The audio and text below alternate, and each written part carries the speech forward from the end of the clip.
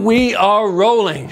What's up everyone? My name is Ed Gregory and you guys remember that company Polaroid, right? You know the company that made those instant film cameras where you took a photograph and the photographs came out? They sent me one of their brand new cameras. It is called the Polaroid One Step 2 and it's awesome.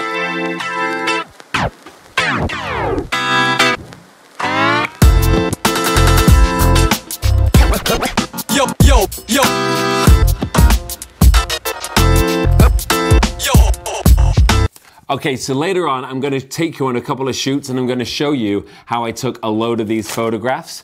But right now, let's walk through a couple of the features of this camera because this has all of that retro charm, but in a brand new case. So first of all, what do you shoot on? Well, you shoot on this I-type film. You can also shoot on 600 type film. So this is what a full pack looks like. Whatever you do, don't push down on the top because that will let light onto the film and start exposing it. And to load one of these, it's super easy. You just slide the slider on the front, it opens, you push it in all the way to make sure it clicks like so, and then you close it, and then the top dark slide will actually come out like so, and that means that this is now loaded and ready to go. And I know that because I have eight lights on the top, which are all lit, meaning I have eight exposures left. All I now have to do, line it up, shoot, good to go.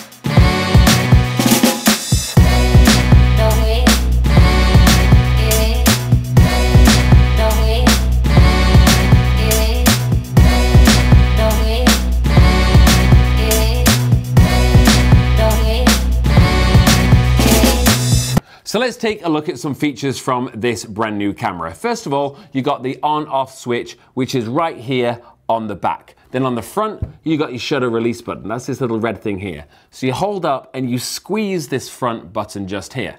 Now, there's a cool little feature, which is this on the back. I don't know if you can see this. There is another button on the back just here, and that is to turn the flash off. Automatically it's on, and all you have to do, you squeeze that in and click and it will stop the flash from going off. Now, there is a built-in flash and there is a fixed lens. It's all plastic, but you still get some great shots. And then you've got this cool little slider on the front here. Now, what this allows you to do is to kind of set your exposure compensation. So if you leave it in the middle, it's just gonna do it it's going to figure out what it thinks is right. But you also can slide it one way and it will make it brighter. You go to the plus, or you'll slide it the other way, you go to the minus, and you say you want to make the image darker. In my experience, you want to leave it smack bang in the middle or go darker. That's usually where it works out the best.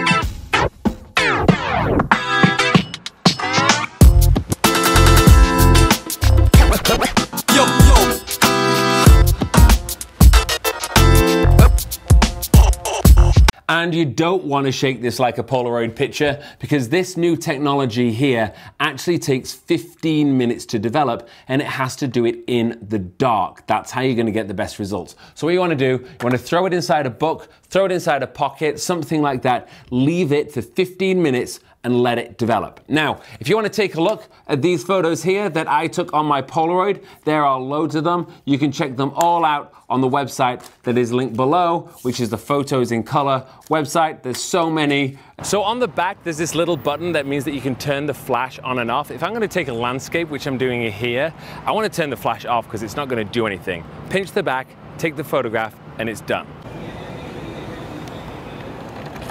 With this new model, the One Step 2, it actually takes 15 minutes to develop, but when it comes out, it actually has a dark slide over it. And what you do is you pop that off and then you hide it somewhere dark, like in my back pocket, really quickly, and it's gonna take 15 minutes to develop. We're inside, we're in a studio, we have our beautiful model Amanda over here.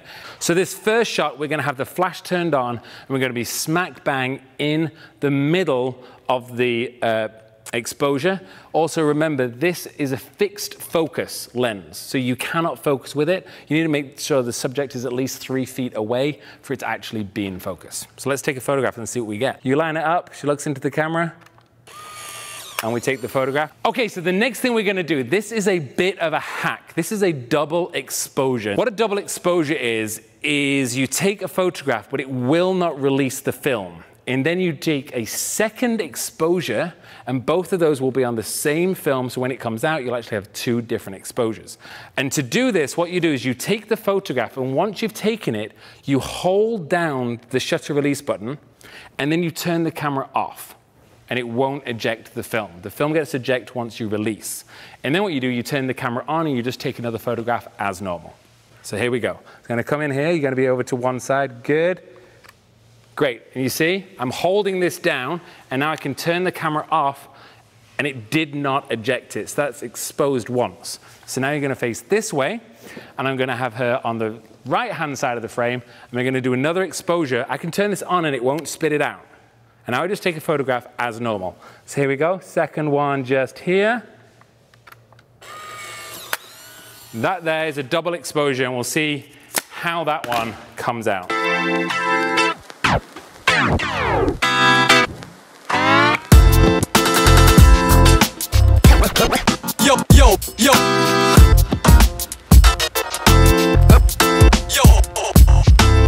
We are not done with this video yet, but I want to know what you think the future of film and instant film is. Leave it in the comments below. Is there a future for it? Where do you think it's going to go? Are you guys interested in it? And how would you like to see it develop? That's a pun right there. Anyway, while you're leaving a comment, give me a thumbs up if you want. So this next shot, what we're gonna do is replicate shooting through a window. So we're indoors and this is like a window with the sun on the outside. I'm gonna leave the flash turned on. So I just hit the shutter release and it works as normal. So I'm just gonna take this photograph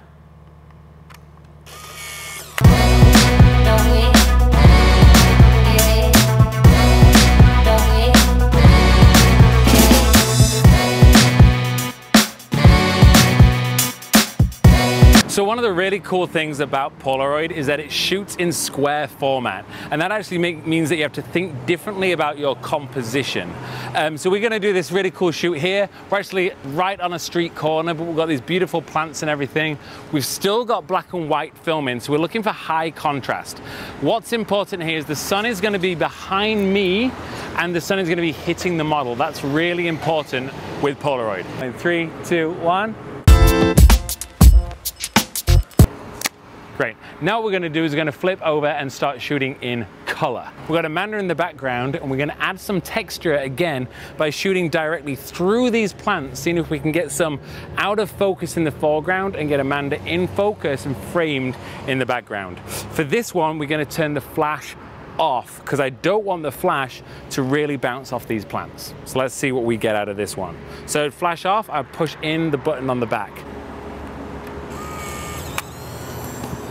I think that shot is going to be absolutely beautiful. Great, I love this. So you can see it's always covered here so the light can't hit it with this little tongue. And when you pull it out, that retracts inside to keep your film always protected. Go now. Here we go in three, two, one.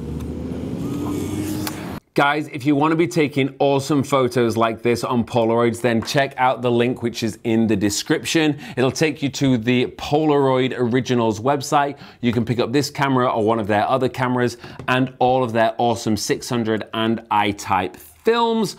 Definitely check them out because this company is really innovating and it's kind of cool. So remember, Polaroid did send me this camera completely for free with loads of film for me to go and test it, but I have to say it is a lot of fun. Not only for amateur hipsters, it's also great for professionals who want to get that quick shot and actually have a memory that was taken and developed right then and there on the spot. It definitely is a keepsake and something that makes better memories than those ones that you make on your phone.